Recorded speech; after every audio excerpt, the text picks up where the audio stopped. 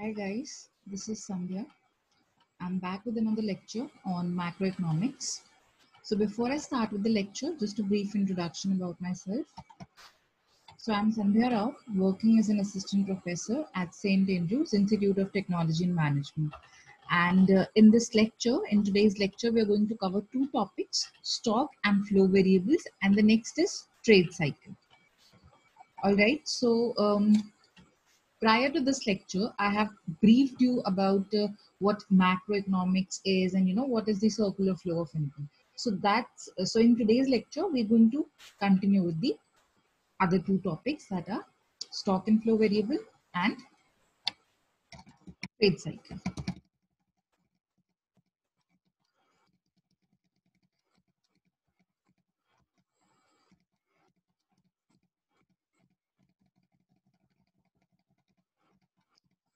So, um, stock and flow variable, what exactly do you mean by these uh, two terms, stock variable and flow variable?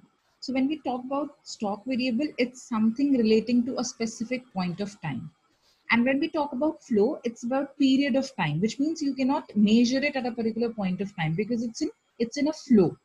And stock can be measured at a particular point of time.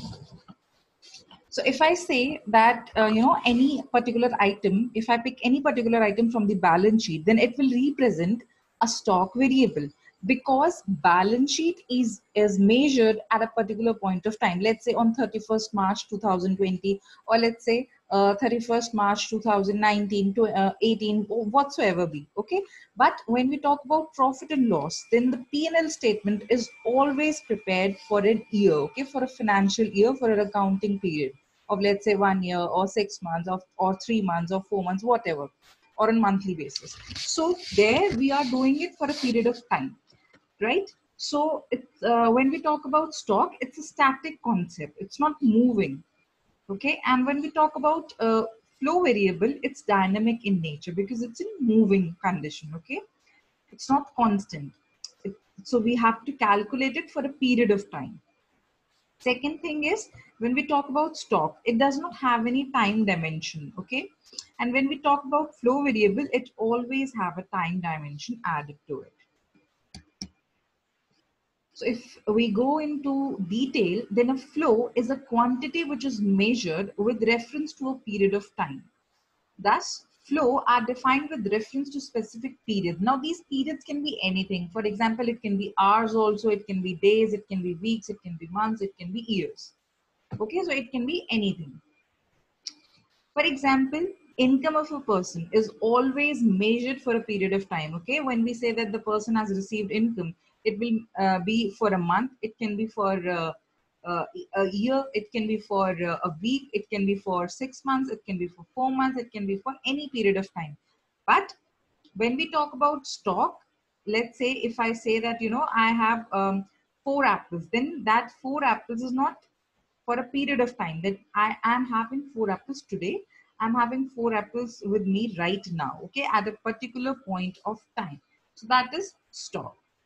Another example of flow variable can be, let's say, expenditure or savings or depreciation or interest, export, import, change in inventories, and you know, change in money supply, lending, borrowing, rent, profits, etc. So all these kinds of things are measured over a period of time.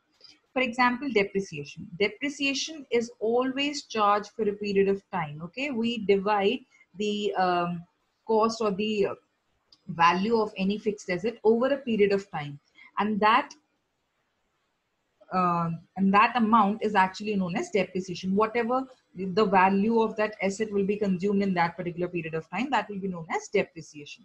So it is always measured over a period of time. Similarly interest. When we invest some amount in you know bank or any other investment project we receive interest out of it. Now that interest is for a particular period of time. It can be for a month it can be for six months it can be for four months Likewise, export and imports are also measured for a period of time. Let's say imports for the month of April, imports for the month of January was so and so. Okay, imports for the month of February were so and so. So these are flow variables which are measured over a period of time, and that period can be hours, days, weeks, or months or year. Okay, which specify some time dimension. So that are uh, or they are flow variables. Now, when we talk about stock variable, it is something which is measured at a particular point of time and not a period of time. And this is static in nature and does not have any time dimension to it, which means it does not have any length of time. So it can be today, it can be tomorrow, it can be yesterday, it can be 4 p.m., it can be 5 p.m., it can be 1st January. So here it's a specific point of time. We are specifying some point. So let's say if I say that the country owns and commands stock of machinery, then that will be on a particular date, on a particular point of time. Whatever building, accessories, raw materials, etc. they have, then that will be counted on that particular point of time because it is possible that, you know, it might change in a period of time. Whatever I'm having today might not be the same that I am having tomorrow. Okay, if I say I have four apples today, I might not be having the same apples tomorrow. I might have consumed something. So I cannot say that, you know, I had four apples uh, today and tomorrow. I will say I have four apples today. And for tomorrow, I will have to give the another information. Like even if I have four apples tomorrow as well, then I will say I'm having four apples on uh, whatever the date may be. And I'll say the same thing for another date as well. So we'll specify it for different, different point of time. Okay we cannot club them together. Similarly whatever so basically any kind of you know any kind of asset that you have with you then that will represent a stock variable okay? So uh, stock of capital or stock of any raw material then they all are measured for a particular point of time. Balance sheet always represents all the assets on a particular point of time. And P&L statement always represents all the items for a period of time. Okay. So try to understand this difference between point of time and period of time. When I'm saying a month, it means it's a period of time. But when I'm saying today, it's point of time. When I say for two years, for three years, that's flow. Okay, that's a period of time. But when I'm saying, you know, um, 1st January 1997, that represents a particular point of time. If I say in the year 1997, then that represents a period of time because year is a long period, okay? So that represents flow variable.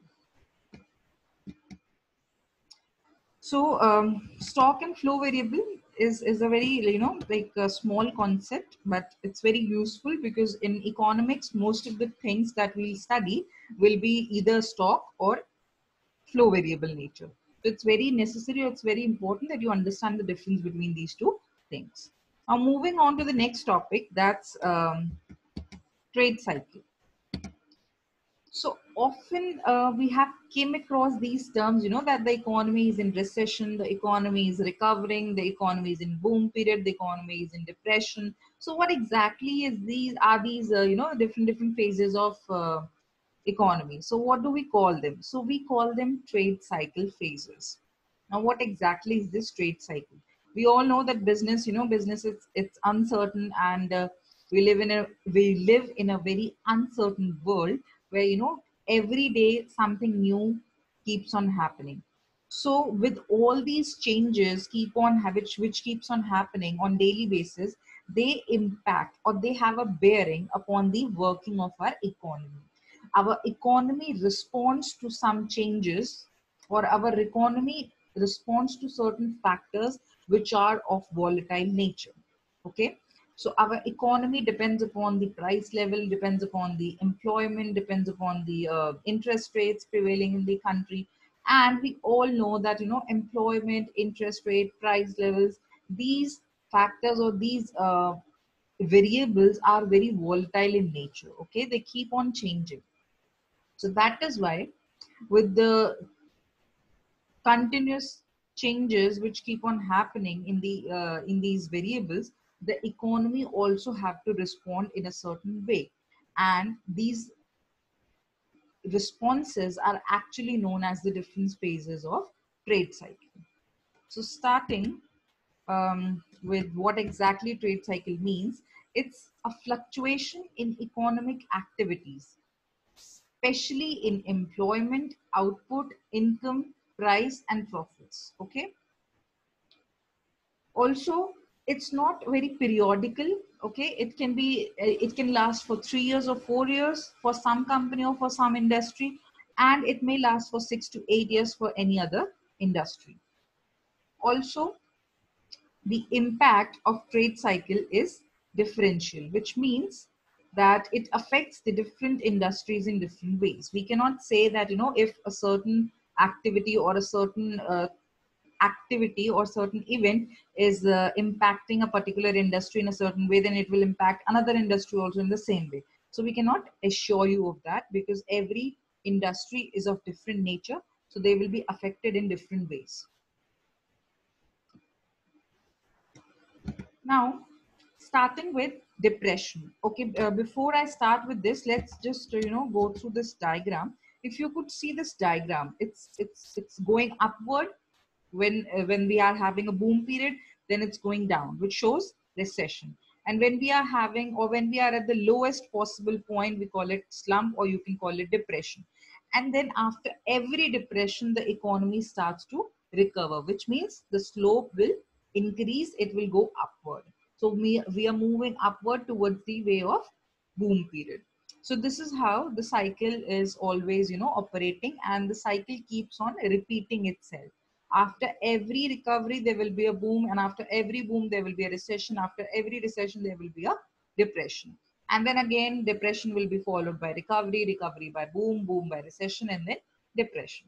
So this this cycle keeps on moving so if i start with the depression so if you could uh, if uh, as you have just seen in the diagram that depression was the lowest possible point okay which means when the economy is at the lowest point, we call it depression. So at this point, the level of output, the level of uh, demand falls drastically. Okay, we have the lowest demand, we have the lowest income, and we have the lowest production and lowest employment and prices and profits, everything. Which means that the economy is slowing down, is moving down, is going down. Okay. So why does it happen or what are the reasons behind these things? So, and what exactly, you know, uh, depression is. So it's a phase when, you know, economy is facing a downturn. There is a very uh, huge amount of fall in the demand. And when there's a fall in demand, what happens is that the suppliers, they are forced to keep their prices low so as to you know generate more demand because they feel that if they will lower down the prices people will start demanding more but even when they have reduced the prices people are not increasing their demand and in that case it becomes very difficult for the suppliers to continue with their operations okay and to bear the cost of their workers so in that case the employment opportunities are also lost. New employment opportunities are not being generated. Also, the existing employees are being removed. So, there's a high rate of unemployment. And with high rate of unemployment and with reduced sales and with reduced profits, the company or the firms also, uh, you know, uh, like start reducing their output. Because they feel that if there is no demand for their commodity and if they are not able to you know um, sustain or retain their employees in that case they feel that they should also um, reduce the production of the units so in that case the level of production is also low so all these things when come together they represent a situation of depression so in that case there will be pessimism leading to closing down of business firms. Most of the firms are being closed down during this depression period because it becomes very difficult for them to survive in the market with tough competition around. Okay, so if I give you a real life example, so when the Great Depression period struck the entire world, then in that case in that period most of the uh, companies you know especially the um, small scale industries or you know the new the newcomers were greatly suffered. So the new firms were being shut down because already they are new in the market and they don't know how to cope up with such situations. And you know with the tough competitions that they're facing it becomes very difficult for them to generate good demand for their products. Okay? Because whatever demand is prevailing in the market that will be uh, fulfilled by the existing suppliers. So newcomers are greatly suffered or deeply uh, you know they, they are badly hurt by such kinds of events which are happening in the economy Next thing is recovery. See, um, bad phases cannot continue for a long period of time. Every depression is followed by a recovery. Now, in this phase, there's a slow rise in output, employment, income, and price, which means that the economy is trying to buck up and they are trying to stand. Okay, after falling down, they're trying to get up. So the demand for commodities start increasing the increase there's an increase in investment also bank loans and advances which means uh, that people are willing to invest. Also pessimism gives way to optimism which means people have started believing. They are having hopes that you know good times will come. So the process of revival and recovery leads to prosperity. So if you could see this picture where there are three uh, phases being shown over here. In the first one or in the left uh, picture, there's a guy who's, you know, bending down, which means he's trying to pick up, he's trying to get up. And in the second picture, he's trying to, he has already stood. And in the third picture, he's trying to run, which means the first one or the left one picture represents depression. The second one represents recovery. And the third one represents running, okay, which means prosperity or you can say boom period. So recovery is when you are trying to you know uh, you're trying to fight back all your uh, difficulties you're trying to recover okay? So just like uh, a human recovers from his illness the economy is also trying to recover from the illness of depression in this case. And in this case the demand has slowly or you can say gradually starting started to increase. Whatever uh, loss of demand was being seen or be, was being observed in the depression period will start to fade away now.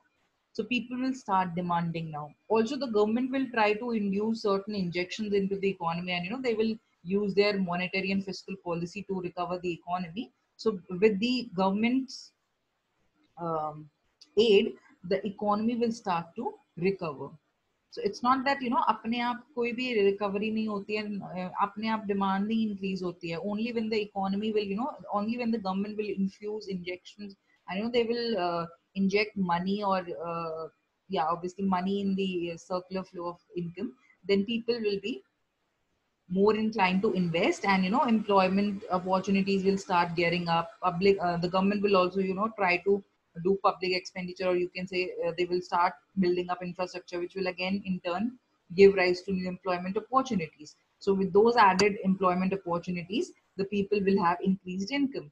And with increased income they will start demanding more and the consumption will also increase and ultimately the producers will also start producing more. So that is how the economy will again come back on track then there's a boom period. After every recession, there will be a depression period. After every depression, there will be a recovery. And after every recovery, there will be a boom period. So it's a state of affairs in which real income and employee income are high, which means you can say that the economy is at its peak level. There are no idle resources. We are operating on full employment, and you know there is no wastage of material. So we are you uh, we are operating with full efficiency okay? We are we are uh, not wasting anything. We're not wasting any material. We're not uh, we're not having any idle capacity. We're not having any idle resources. Also there's a rise in a rise in wages. There's a rise in prices. There's a rise in profits and interest. Also you can say that you know when there is a boom period in the economy inflation starts. Inflation starts. Why? Because you know people are having excess of money with themselves. People are having or you can say people are enjoying their increased income and uh, there's excess of money supply in the economy. So when there's so much of funds or when there's so much of money in the economy people will continue to demand. And there's only a certain limit till which the producers can supply okay? They cannot go beyond the uh, full capacity. They can only operate at optimum level or you can say they can only operate till full employment. Beyond that obviously they cannot produce because every machine have a, a certain capacity. They have a certain limit. So they cannot go beyond that. But human wants have no end to it. People cannot stop their demands. If they have money they will keep on demanding. So in that case what happens is that the producer start to increase the prices so as to curb down the demand.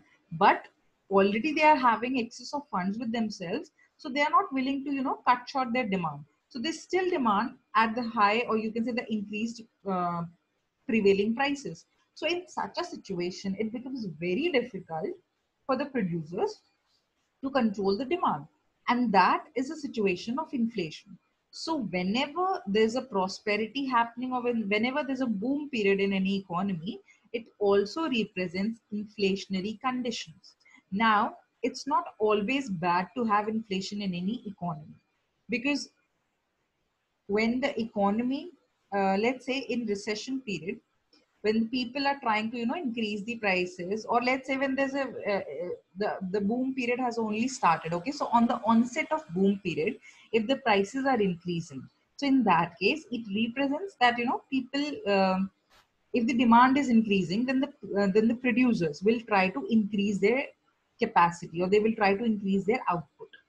But if the inflation still persists once they have reached their maximum limit then in that case, inflation becomes a risky thing. So it is only uh, beneficial for you until you have reached the maximum capacity of your production. After that, it becomes very risky and very problematic. So again, boom period represents that there will be demand for bank loan and you know there is an optimism everywhere. People are uh, believing that you know economy will catch up and uh, everything will be good everything will be according to their plans you know profits will be high. So there's a general uptrend in the business community. However these boom conditions cannot last long because the forces of expansion are very weak and there are bottlenecks and shortages okay there may be scarcity of labor raw material and other factors of production. As i've told you that you know uh, if the inflation starts or if the inflation persists after the maximum pos- uh, maximum capacity then in that case the boom period will start the new recession phase okay? And the banks may stop their loan. These conditions lead to recession because the government will ultimately try to you know in, take away the money the excess money from the economy because inflationary conditions obviously cannot prevail in the economy so the government will try to hold back the money from you and they will uh, use their contractionary policies, which will again lead to recessionary conditions in the economy. So now what exactly is this recession? So when the economy starts to fall, that's recession. So when the entrepreneurs realize their mistakes, they reduce their investments, employment and production. So there's a fall in um, employment and uh, that also again leads to fall in income and expenditure prices and profits. So optimism gives way to pessimism. So people have started become, becoming negative now. Banks reduce their loans and advances business expansion stops. This is a state of recession which ultimately leads to depression. And then again after recession depression will be uh, followed. After depression again there will be a recovery recovery will be followed by a progression or you can say prosperity or you can call it boom. So this is the cycle the trade cycle. Okay? And these trade cycles differ from industry to industry from firm to firm. It cannot be same for all the companies or you can or you say for all the industry. It varies okay? Because the nature of every industry is different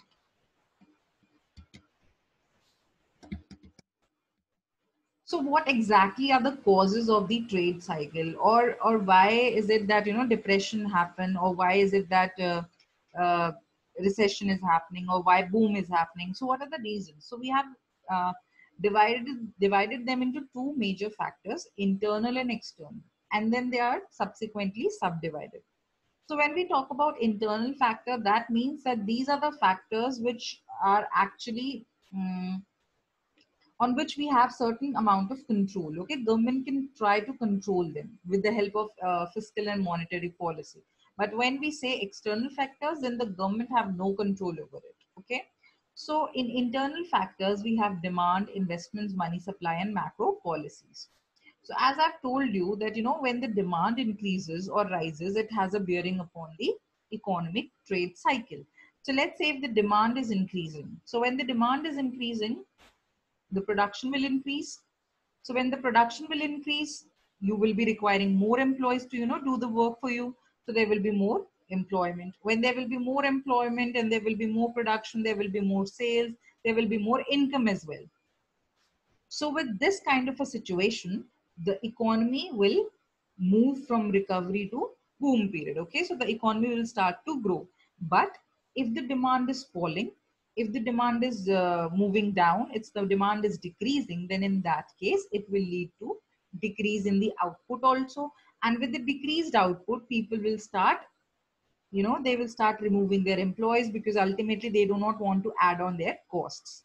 So with reduced employment opportunities with reduced demand and with reduced output, it's a sign of depression, or you can say that the economy is moving into recession. Okay. Again, money supply also has a bearing upon the economic trade cycle. How? If there is an excess of money supply in the economy, again, people will demand more because they have excess of money with themselves. And with that increased demand it's the same thing. It moves back to the demand factor only again. Okay so the same thing will be repeated over here as well. So again with increased money supply there will be either recession uh, there will be either recovery or boom period. Now there are certain macro policies which the government undertakes okay? Uh, that i have already uh, you know discussed many a time that the government undertakes either fiscal policy or monetary policy. So with fiscal policy if the company or sorry if the government is you know trying to do more expenditure or if the company is following monetary policy and in that they're following expansionary policy then in that case again the income will increase and the people will find themselves with you know uh, in great prosperity and with high standard of living they will uh, they will start consuming more and they will demand more so that will lead to a recovery or boom period and the reverse of that will lead to recession or depression so these are internal factors. You can say that on these factors, the government have certain amount of control.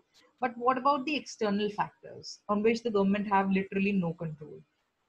So natural factors are there. Okay, natural factors as in, you know, there are certain natural calamities which happen in any country or which might happen all across the world, due to which there's an economic downturn. Let's say the present uh, pandemic which is uh, you know which is uh, which has already engulfed the entire world uh, which is covid-19 so with that almost every economy is facing a downturn okay they are either running into recession or depression why because you know it have reduced the demand. People are not demanding for commodities because uh, how are they going to demand if they first thing is that you know they have lo- most of the people have lost employment. People are not uh, uh, getting hike in their salaries and you know they have lost their bonus. And so uh, with this reduced uh, salary or reduced income and also with uh, high retrenchment rate the people are the people have stopped demanding now okay? And with so less demand for commodities especially for the consumer goods the people uh, the um, producers have stopped supplying because uh, they obviously do not want to add on to their cost okay? So in that case uh, or you can say this signifies a situation of recession or depression. Again war is a similar kind of a situation where you know people uh, stop demanding for the consumer and capital goods okay? There's a there's a huge decline in the demand for consumer and capital goods. We uh, or the or the countries which are you know involved in war they are focusing their uh, they, they, uh, they, they, focus more on the um, military equipments okay? They, they focus more on the military equipment so as to win the war so in that case with so less demand for the consumer and capital goods again the economy will move into recession or depression because the economy generates maximum revenue from capital and consumer goods only. So if the economy is not contributing for these uh, two products, then ultimately the economy will suffer. Again, technology. See, when there's a new technology that comes into your country, it brings new employment opportunities as well. Okay, new technology has come in, new uh, uh, employment opportunities will be there. So ultimately, it will increase the income, it will generate employment, and everything will be good. Prosperity will be there. Optimism will come along in the economy. So in that case, the recovery or you know boom period will prevail. And population puts a very huge burden on the economy. If there's an excess of population, or you can say if the population, uh, the number of people that there are in the uh, country exceeds the uh, economic growth. In that case, the economy will definitely move into recession or depression. So it's it's always advisable to you know to control the population of the country, or if you have already done that, then you should try to increase the economic growth. Okay, in relation to the population. So your economic growth should always be in relative or should only should always be in relation to the population of your country. So these are the causes of trade cycle as you can see. Now, these are the two questions that you're going to do um, after this lecture. So first of all, you have to classify these four items into stock and variable item. So you have to specify the reason as well. So uh, the first one is capital. You have to tell whether capital is a stock variable or flow variable. And you have to give a reason also. Again, savings is uh, uh, whether savings should be termed as a stock variable or flow variable and you will be giving a reason for that. Again, for GDP and for wealth also, you will have to do the same thing. Then the next thing is the rate of inflation tends to rise in which phase of trade cycle and why. Okay, so you have to give the answer to this question also. So thank you guys. This is it. I hope you have understood it well. And um, um in the next video, we'll be covering the uh, aggregate demand and aggregate supply concept. Okay, thank you guys.